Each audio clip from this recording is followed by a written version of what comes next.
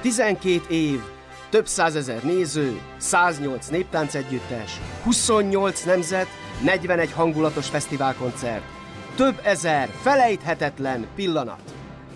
Ez az Interetno Fesztivál. Augusztusban a világ ismét Szabadkára érkezik.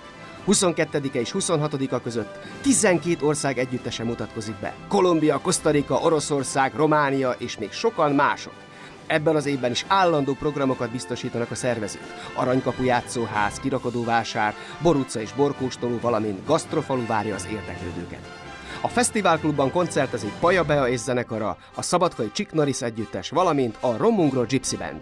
Legyen ön is részese Szabadka legnagyobb rendezvényének, váltson útlevelet Etnopolisba és vegyen részt az ingyenes programokon. További információ a www.interetno.net címen, vagy lájkolj minket a Facebookon. Média támogató a Pannon RTV.